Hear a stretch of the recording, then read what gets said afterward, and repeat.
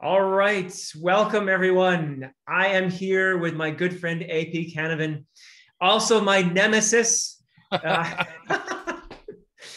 uh, because very recently I did a reading of a Steven Erikson poem, an epigraph in uh, the Bonehunters. It is the epigraph to the prologue, and it is called The Age Descending. And in response, AP, Dr. Canavan, did his own reading of the poem, during which a, a few shots were fired, a few fireballs were thrown in my direction. My tweed is a little bit scorched right now, but it is very much intact. So, so I am here. So what we are doing today is that AP and I are going to have a little session where we discuss our very our variant readings of the poem. So if you would like to uh, hear me read the poem, you can check out my reading, and I'll put a link to that in the description below. Uh, uh, uh, uh.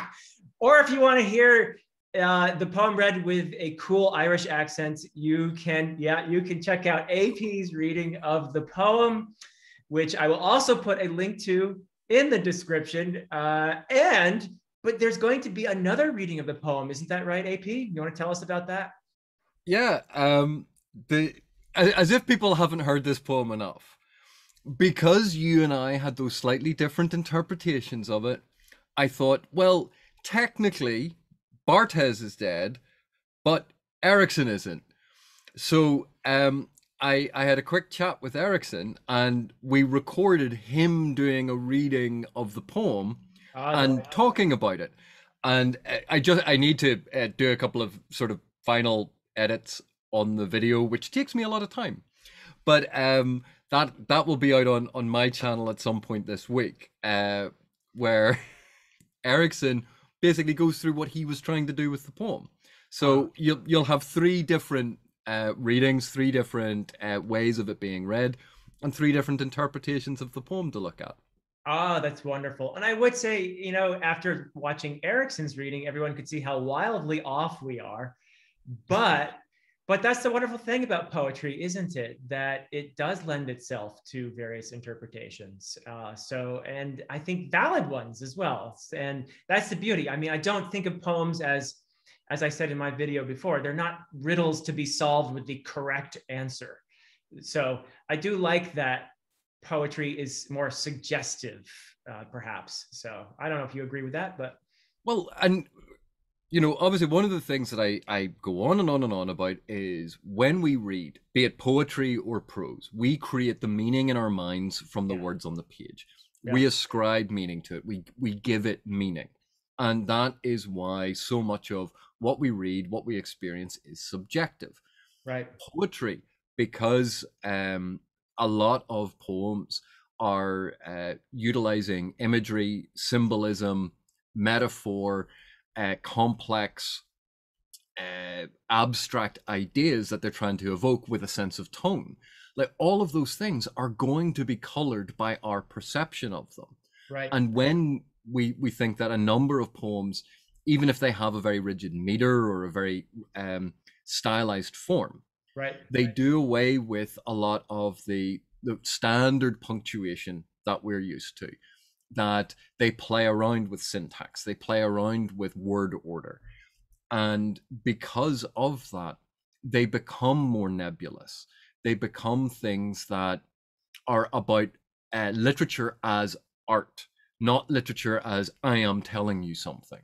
Right. Um so because of uh, all of those different factors I think we can have an accepted reading of a poem. We can have a general sense of what a poem is, but we can also get these at times completely contradictory, mutually exclusive readings of a poem, just depending on the mood we are in when we look at it or the stage of life that we are in when we, we re examine it, because the sense of meaning we ascribe to things changes. Yeah. And yeah. that that makes poetry so wonderfully malleable and evocative and brilliant. Yeah. Yeah, it's wonderful. And one of the points you made in your video, in your reading of, of uh, The Age Descending, something I really appreciated. Uh, you emphasized the ambiguity due to the lack of punctuation in the poem, which I thought was a great point. And it, and in my reading, I mentioned the, or actually read from The Wanderer, the Old English poem, and you made me think of it again because it's interesting. Old English manuscripts do not have punctuation. In the poems that are preserved for us, in the very few manuscripts that have these Old English poems, there's no punctuation, and that you don't. It's not written out the way it would be today in Old English or in a translation where you have line by line. It's just written they had to conserve as much space as they could on these vellum manuscripts. So they just would write, you know, until they ran out of space and then next line. So it's up to the modern reader to determine lots of things because there's no punctuation that leaves a lot of room for interpretation. There's been all kinds of ink spilled in scholarly battles over where a certain line should end or whether a certain word should be emphasized or whether uh, you know there, are, there, also are holes in some of the manuscripts because they were in a fire or they're old or whatever. So there's lots of ambiguity when it comes to old english poetry as well because of the lack of punctuation because of the age. There are mistakes that the the um, scribes make as they're transcribing and all kinds of stuff. So uh, but yeah, Erikson includes no punctuation in the age descending, and and that is kind of it uh, does lend itself to it uh, to I think that's not uh, strictly true. There's there's an M dash. Okay. so we do have an M dash. That's good. Uh, Just one. That that's helpful. That's very helpful so but yeah so i, I liked that point a lot. Um, and in fact you made a, a, a, few interesting points and you talked about it. There, there's a sort of um, there's an artistic performance involved in a reading of a poem too right? Um, mm-hmm. it, it's a performative act. Where you pause what kind of tone you use uh, all of these things are factors that influence an interpretation. So uh, you know that those are all important factors uh, definitely um, so do but, we? Yeah, go ahead. But hang on, uh, just just on that point, and and this is one of the things that um, I had said about um, audiobooks, um, and the the fact that there's a difference, and it, it is not one being better than the other. This is about there there is a discernible difference, and bearing in mind that difference can actually be really quite interesting because an audiobook is read to you by a narrator, yeah. and good audiobooks. These uh, these narrators are brilliant artists, and they interpret the text. They give lines um, tone. They give uh, different characters different voices, or they read them in different ways. And because of that, they act as a way of shaping the narrative that is not present in the written text. Yeah. So when we listen to an audiobook, we are listening to a performance yes, of the yes. text filtered through the perspective of a narrator. Just like you can read a play, uh, you could read a Shakespearean play and go, well, now I know everything that happened. But that play takes on can take on very, very different meanings and and feelings when it is performed by people uh, on stage. Yeah. That is the play. Whereas the the written thing is the record of the dialogue and the stage directions for the play. The play is the thing itself. So the, uh, I I mentioned this in a different video that audiobooks and written texts are are different because one is filtered through uh, a narrator and the other is you are uh, creating it your own mind because you're the narrator you're the one implying tone onto things yeah and we see that a lot when we listen to poetry or when we read poetry and different speakers can add completely different rhythms. They can stress different words. They can pause. They, they can do all of these things with the performance of it which can change that structure that emphasis and and it can actually change the meaning of poems. Yeah. And i think that is a wonderful thing uh, oh, about is. all of this yeah, and uh, it's fantastic. So in that sense, the narrator of an audiobook is very much like the ancient bard or the shop, as you would say in Old English. Uh, a lot of people pronounce that scop, uh, but in the dialect of Old English the, that belonged to Wessex, the SC would have been a, a sh sound. So, uh, what but, you mean? It's it's not pronounced ye olde shoppy. no, good grief, no. that I won't even get into how many things I needed to correct there, but uh... no, but that that I remember at university, um, a very brief intro. We were looking at epics uh, across time, so we were looking at all these different ones, and we happened to be talking about um, Beowulf and uh, some of the Old English and the Anglo the Anglo Saxon. Yeah. And the lecturer went nuts because he, he just said, "If I ever hear ye olde shoppy one more time." I sympathize. I very much uh, sympathize with your poor lecturer there. but but it's interesting because I, I loved what you were saying there about the narrators of audiobooks because yes, what does uh, shope mean actually? It could could mean uh, a shaper, one who shapes, one who, as like the word poet means from the the Greek, a creator, somebody who creates. So the poet, the bard, bard is a, is a Celtic word, by the way, so that uh, was imported into English. Uh, these are people who create the story, the moment that the listeners become absorbed in. They create a reality that the listeners become absorbed in. And this is something that Erikson is very much aware of in the age descending, that, that act of creation, that that uh, secondary reality uh, that uh, the, the poet or the bard, because he mentions bards in The Age Descending, as creators of a, an idealized past. Uh, so I thought I, that's just wonderful stuff. Uh, so that, that ties in that ties into uh, you know Tolkien's whole essay on the idea of subcreation. Yes, and what stories can actually do. So, I mean, there are lots of points of connection because I know that you brought up uh, the Sunt and the Wanderer and yeah. and uh, that style, which obviously heavily influenced Tolkien because he was a professor of Anglo-Saxon. Yes. Um, so uh, there, this is not a new concept. yeah. Uh, about uh, artists shaping the story, and if you think, uh, even if people don't find that argument persuasive, Think about when a singer does a cover of a famous song. Right. And they completely change the key or the tempo.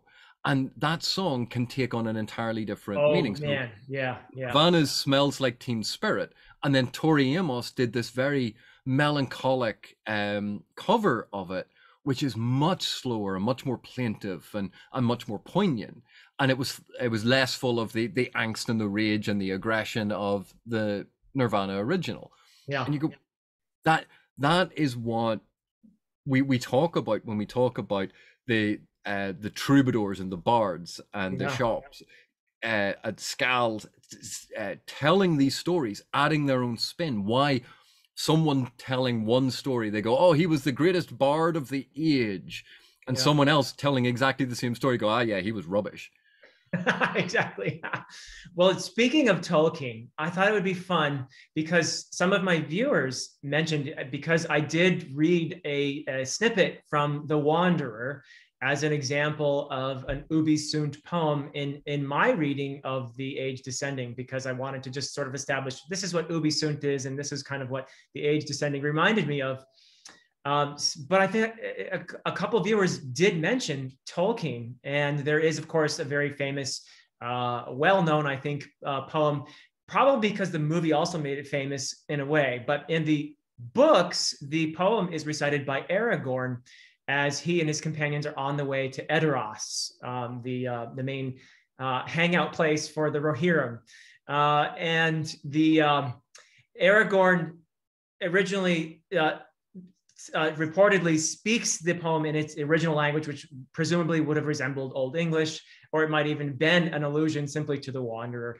Uh, but then he translates the poem for Gimli and Legolas, and uh, and so uh, it, it is a very much in that tradition. And I thought it would be interesting, since viewers mentioned it, for us to sort of take a quick look at it as a contrast uh, to what Steven Erikson does, because I do think that if you look at these two poems, what, what Tolkien does with a, a poem that is very much a tribute, or you could say derivative of The Wanderer, um, and, and contrast it what Erikson is doing, I think, in the, the Age Descending, you can learn a little bit about what the authors are all about, I think. So uh, let's just uh, see if I can figure out how to share my screen because I do have the Tolkien poem here. And if I can make this work. All right, here we are. So I'm going to enlarge this. And here is the age descending. You can see that now, right, AP? Mm-hmm. Yep, I can see that. Okay, brilliant. Uh, and again, if you want to read the age descending, or, or you could actually see it in uh, the Bonehunters, it's the first poem in there. Um, but here is the Tolkien poem that Aragorn recites and is included in part in the film in the Two Towers, I believe uh, where Theoden is about to go out to battle and he recites pieces of this. But just to give it a quick read, where now the horse and the rider? Where is the horn that was blowing? Where is the helm and the hauberk and the bright hair flowing? Where is the hand on the harp string and the red fire glowing? Where is the spring and the harvest and the tall corn growing? They have passed like rain on the mountain, like a wind in the meadow. The days have gone down in the west, behind the hills into shadow. Who shall gather the smoke of the dead wood burning, or behold the flowing years from the sea returning? So there's Tolkien's Ubi Sunt, uh, which is a tribute. It's an imitation in some ways, uh, but he's added a bit to it. He has included, so he's got uh, obviously echoes of the alliteration of the Old English verse, but he also has rhyme He's included rhyme in there. Uh, and you'll notice that uh, in The Age Descending, and in, I think most of his poetry, Erikson eschews rhyme, doesn't he? Yeah. Um, Unless it's Brash Phluster, right? Brash Phluster does do a lot of rhyming. and and that it is a point that's made by some of the audience members in Crack'd Pot Trail that it's not a real poem unless it rhymes. Yeah. but I think that the, the lack of rhyme is one way in which Erikson's poem feels more modern. And, and that is a tonal difference that also, I think, is related to a thematic difference. So if you look at the age descending, there is an inclusion in, in, in, at least the way I read the poem, there's an inclusion of a kind of questioning of the uh, authenticity, let's say, of what the bards say about the heroes of the past. Uh, I think there's a um, an implicit or maybe even explicit questioning of that. Whereas in Tolkien, I think he takes the Ubi Sunt theme and what he does is, I think, very reminiscent of what you would find in Old English. And it's not that. So if you were to read an, an Ubi Sunt uh, poem from like, uh, or, or snippet from Beowulf, the, the Lay of the Last Survivor, for example, there is some irony in that as well when looking back on the past a lost past the fleetingness of life all of that stuff but there's also a sense of futility as the, the last survivor of a certain people buries the treasure of his people. And what good is this treasure going to do anyone right? This this this treasure is no longer useful to anyone. It's buried in the earth. And eventually a dragon comes along and, claims the treasure. Um, and we know what happens with dragons and treasures and all that. So uh, but I, I, think that there is a let's just say that I believe that with the Erikson poem, with um, the age descending, what we have is a more direct questioning of, of the of the past, of what uh, our, our conception of the past is, and that's a, of course it's a big theme in the Malazan books in general. What he does with historians and and, and other things. So I thought that was a kind of a nice point of contrast where we have in Tolkien a, a, a something that is closer to the, the I guess the spirit, uh, and it's very imitative in a way. Whereas Erikson does something much more modern. And I mentioned in my reading, I mentioned Yeats before you could, because I, I, know that Yeats is is uh, one of your favorite poets. Um, but uh, I, I, believe that the the Yeats is, is a good kind of comparison in the case of the age descending because the age ascending has a more modern feel to it anyway, even though it is to me backward looking in the past and, and what's lost and all of that in some ways. Um, what you have in The Second Coming by Yeats, or in something like um, The Wasteland by T.S. Eliot, you have a, an age in which things are really falling apart, where the old narratives are no longer holding things together. And this is the sense I get as well in the age descending. So I don't know what you think about all that, but the center cannot hold. Exactly. Um, yeah. But uh, I, one of the things I think we need to to bear in mind, obviously, like this is is fascinating. There is um, not necessarily a, a contradiction, but uh, competing interests in how we look at the past. And for someone like Yeats, uh, Yeats writing and being involved in the Republican movement in mm. um, Ireland and the the eventual change from Ireland being under uh, English rule to self-governing. Yeah, that that is throwing off uh, from one perspective, throwing off the shackles of the past to embrace this new future. Yeah, but at the same time, uh, Yeats obviously was was heavily involved in the creation of a new mythology of for Ireland, the the, the Celtic Twilight. He became uh, more and more engrossed and uh, maybe not obsessed, but certainly intrigued by uh, mysticism and magic and concepts of fairy existing in the real world and this creation of a mythology for Ireland. Yeah. And then we see his manipulation of that in something like Cathleen Ni Houlihan, where it's deliberately evoking that to create a stirring patriotic zeal. Yeah. That uh, all of these authors, Tolkien included, I think were very aware of our ability to be nostalgic yeah, about yeah. the past. But that nostalgia is not the past. Right. When we think back, oh, our summers when we were children, it was all sunshine and they stretched on forever. And you go, well, if you go back and look at the historical records for what the weather was like, that's not what it was like when we were kids during the summer. That's what we remember. We forget the bad and we elevate the good. Yeah. We have selective memories.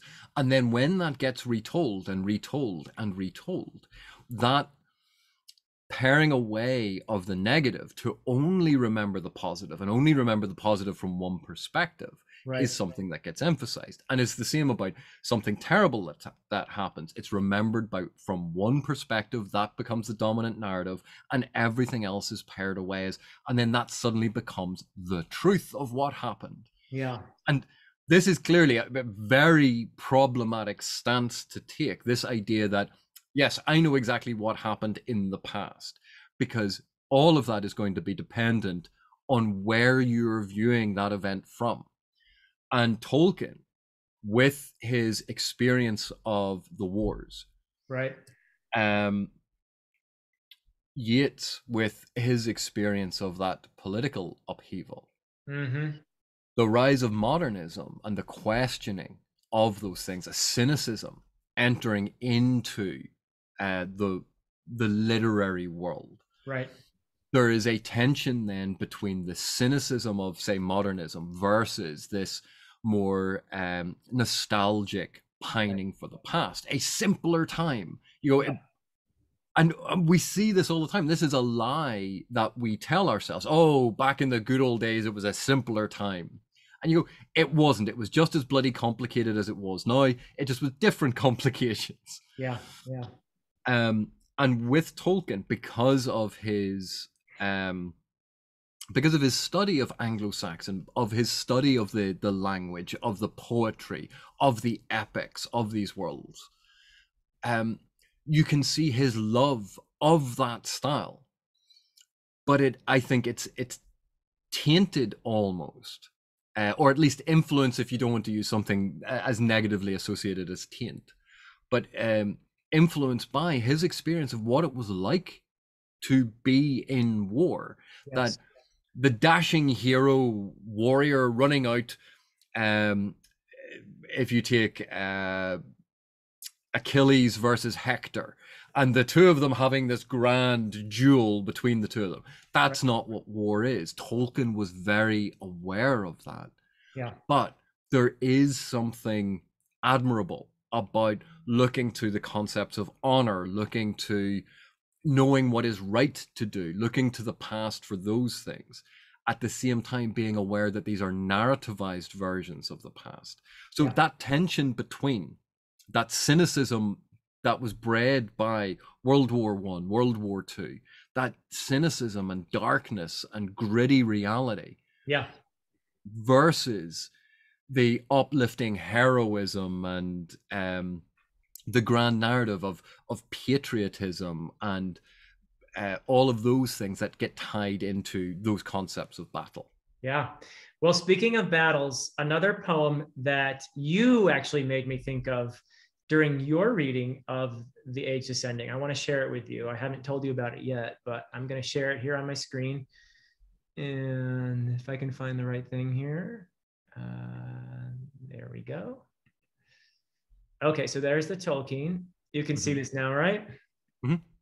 So the other poem I want to share with you, because you really, uh, during your reading, made me think of this, is Grass by Carl Sandburg. So I'll give it a quick read here, and then you can react to why I I thought of this while I was listening to your interpretation of the age descending. Pile the bodies high at Austerlitz and Waterloo. Shovel them under and let me work. I am the grass, I cover all. And pile them high at Gettysburg and pile them high at Ypres and Verdun. Shovel them under and let me work. Two years, 10 years, and passengers ask the conductor, What place is this? Where are we now? I am the grass. Let me work. So, can you see why I thought of that when you were doing your reading of uh, The Age Descending? Yeah. Yeah. um, so, well, if you if you leave that up on the on the screen just sure. while we, we we we chat about this, yeah. Obviously, in the in the age descending, like we we are talking about the nebulous nature of the past, how aspects get forgotten, and here we have the the human cost of these famous or infamous battles, depending yeah. on what side you were on. But these these battles, these wars, these situations where hundreds, thousands of people died, their lives were snuffed out in that instant, and yeah. these were world shaping events, these were nation shaping events. But now, over time, the grass has grown over it that all that is left is a, is a field that the historical meaning the impact that these things had are no longer visible. They they have fallen away. And yeah passengers ask the conductor what place is this? Yeah. But at the time of those battles there was no more important place. And i think that that's what what i was trying to get at with this yes, there are aspects of the past we can look back with nostalgia. The remembering the past, the lessons of the past, is something that we say again and again because those who forget the past are doomed to repeat those mistakes over and over again. Exactly. But there's a difference between being aware of, paying attention to, and venerating it without context, without knowledge and specificity. And what we have here is that time, like in in Ozymandias, here the grass is that nature does not care. Time moves on. Right, right. All of our great works, all of these terrible acts, all of our great acts, eventually over time will be forgotten. And our lives, and this is the depressing thought. this is honestly really depressing. Just a wee bit. Our our lives ultimately in the grand scheme of things, if you take a large enough time scale, are meaningless. Right. But at the same time, that doesn't change the importance of our lives in the immediate moment. It doesn't change the what we should be striving for, which is to leave behind a legacy of benefit, of good, of right. um, positive impact. Yeah.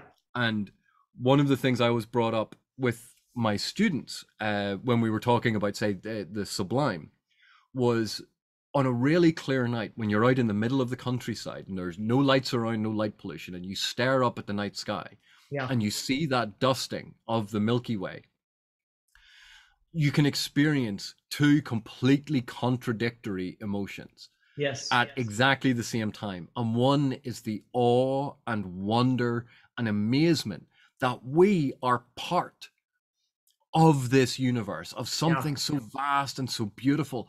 We are we are made up of exactly the same material as those stars, as the yeah. earth. That we are all connected to this. And that is an amazing, beautiful, and powerful thing.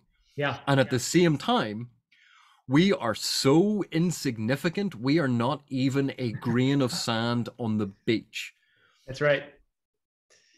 And that having those two things, that your life in comparison to the universe is absolutely meaningless. And at the same time, is an intrinsic part of the universe. And you go, that's what we can do with literature. That's what we can do with poetry. That's what we can do with these things. They hold these two contradictory meanings, mutually exclusive meanings and feelings in our heads at the same time. Yeah, exactly. Speaking of the the uh, existential crisis at the heart of ubi sunt poetry, along with a sense of beauty, and as you say, the sense of the sublime. The last poem that you made me think of in your reading of The Age Ascending, I'd like to share it with you because uh, I think that's a great segue and again, you haven't seen this yet, but hopefully this will make sense to you. I am sharing with you The Splendor Falls on Castle Walls. And this is by Tennyson. It's from The Princess. And I'll give it a quick read. And I think you can you'll be able to see right away how this poem contains both the melancholy and the beauty simultaneously. That experience that you described so aptly of, of looking at the night sky and the stars and that sense of smallness, but that sense of connection to the universe around us. This is something that I believe Tennyson captures beautifully in this poem. And you actually mentioned, I think, even in your interpretation, um, the idea of a castle and the lives that were conducted in that castle centuries ago and and feeling the presence the echoes of those lives so here we have this this poem i think pretty much nails it when it when it comes to that so let me read it the splendor falls on castle walls and snowy summits old in story the long light shakes across the lakes and the wild cataract leaps in glory blow bugle blow set the wild echoes flying blow bugle answer echoes dying dying dying Oh, hark, oh, hear how thin and clear and thinner, clearer, farther going. Oh, sweet and far from cliff and scar, the horns of Elfland faintly blowing. Blow, let us hear the purple glens replying. Blow, bugle, answer echoes, dying, dying, dying. Oh, love, they die in yon rich sky, they faint on hill or field or river. Our echoes roll from soul to soul, soul and grow forever and forever. Blow, bugle, blow, set the wild echoes flying, and answer echoes answer, dying, dying, dying. So you see, there it is. And this, and again, it's the the beauty of of something that you you can create this beauty and then the echo through time dies away. And that's you know clearly um, one of the the aspects that that Erikson was playing with. Yes very much so and I love how in the third stanza, so the first two stanzas are about the past, and you can almost set this scene, right, of this uh, castle in a valley with a lake, and the sun is setting, and it's shimmering on the, you know, the long light shakes across the lake. Look at the alliteration there; is just gorgeous. You've got internal rhyme in uh, the odd lines and in the even lines. You've got end rhyme. It's just, it's packed. This poem is packed and it's just very fun and easy to read. The, uh, the meter is just sort of carries you along. Um, so it's beautiful. There's a lot of beauty, but there's this refrain as well of these echoes dying. The past, the lives of the past, they're getting fainter and fainter and fainter in the sense of life's fleetingness, ephemeralness. So we're talking about the past, um, and it's a very idealized past. Obviously, it's a fictional past when you talk about Elfland and all of that. Um, but I love how in the third stanza, the speaker turns to someone in the present, someone that the speaker addresses as, Oh, love, they die in yon rich sky, they being the echoes of the past, the echoes that are etched into the very landscape, into the stones of this crumbling castle. They die in yonder sky. They faint on hill or field or river. These are the lives of the past. But then the speaker turns it on themselves and says, Our echoes roll from soul to soul and grow forever and forever. Meaning, in a few hundred years, we're going to be the echoes. So, this sense of connection to the past, reaching from the past to the present, also is a sense of connection to the future. And there's this one vastness that we're all part of. It's beautiful, isn't it? Um, but it's also, it does make you feel a little small. but but also like our echoes roll from soul to soul and yes. grow forever and ever. Yes. Your line of descendants, your genetic legacy, that the echo of who you are is born out in your children and your children's children, uh-huh. all down through that line of ancestry. And so there, uh, for some, there is a form of immortality, which is your genetic material will live on as long as the, the human race keeps perpetuating. Well, and um, I think in addition, though, you're right. There's that, but I think even if you just consider you don't have children, uh, if you don't have children, you still touch lives, and the the impact. Well, not since that court case. I I I swear I haven't been touching any lives. well, you'd best behave yourself, young man. Or what is it? The naughty step. so yes, no, I, I, I don't think you have to have children to have this impact oh, on the future. But yes, I get your point. Yeah. But it was that that's one form of legacy. Yes. We, we look then at the works that you do in life, be it creating poetic works or or artistic works, and how they influence right. and shape minds. Look at teachers and lecturers and educators of all types, how they shape and and uh, leave a legacy in the minds of those that they interact with. Yeah. Uh, firefighters and paramedics saving lives and the repercussions and ripples of that. Oh, Even yeah. a simple act. Someone is having a bad day and you're polite to them, you're nice to them instead of snapping at them. Yeah. And that that can be such a tiny little moment, but that is an echo and a repetition that has an impact on a on that person's life. It might only have a small impact, but if you hadn't been there, that person's day could have been worse. Yeah. So yeah. we can't tell these things. We never have the perspective to to understand the impact that we have on the lives around us, on the world around us, or through time. We we will never have that perspective. Right. Right. And all we can hope is that we leave a uh, beneficial, a positive mark in the world. Yeah, and, and don't forget something... YouTubers too. YouTubers. nemesis. so beautiful. Uh, is there anything? I mean, I just want to thank you too, AP, because you really did add to my not just my understanding, but my appreciation of the age descending with uh, your take on it. It was really fun, and in spite of the fact that I got scorched a bit, uh, but uh, but it was great because I feel uh, a, a, real it, it's really amazing just to, to learn from and this is something that happens to me in the classroom all the time when I'm, I'm reading poetry with my students. My students inevitably bring uh, experiences that open up the poems to me in new ways even though i've read them many many times. So it's just a wonderful thing to be able to share that. Well and one of the things i noted was when you when you were reading it you yeah. were being heavily influenced by the sort of the anglo-saxon rhythms because you and I apply a completely different rhythm to that poem. Yeah. Um, and it's when when I was hearing you, uh, it reminded me a lot of when I was listening to Anglo-Saxon poetry, ah. and when I was listening to those internal rhythms, and it's that that is one of the forms that you you know you have a lot of experience with, so that's why you go with that form. That's not necessarily your default, but it's one that you can fall into. Yeah. And yeah. that because it shapes how you you put that rhythm in that shapes how you're seeing the lines connect mm-hmm. and that's shaping your emphasis which is why when i did my reading of it i am i have nowhere near the experience that you have of anglo-saxon but you bring a nice of, celtic flavor to your reading right but and this was this was one of the things that i was not i to be perfectly honest, I really disliked teaching poetry analysis when I was teaching at a university. Uh-huh. And part of the reason for this was so much of uh, the, the poetry that was on the, the syllabus that we were teaching had a lot of rhyme.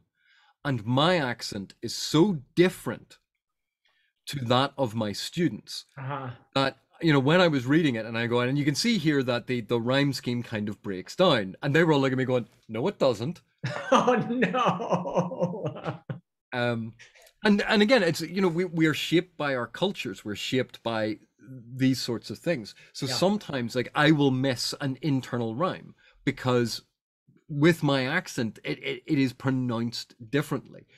And that is this this wonderful thing because it, it, can lead you down a different path of analysis. Yeah. Um yeah.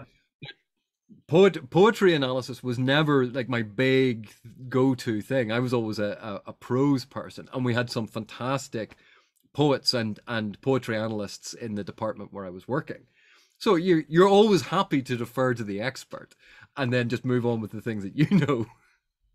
Well, I would say you're not too shabby at it either. So uh, I certainly enjoyed your reading, and I'm really looking forward to what uh, Steven Erikson has to say about the age descending after all this. And interestingly, he applies a completely different rhythm to either of the two of us. Of course. Uh, and clearly he's wrong.